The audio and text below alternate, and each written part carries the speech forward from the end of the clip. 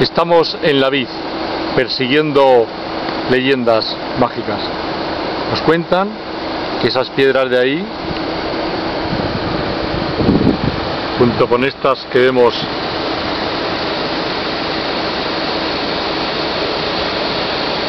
por el otro lado, eran monjas que paseando por aquí, yendo camino de Langa a la vid, se quedaron heladas y se convirtieron en piedras.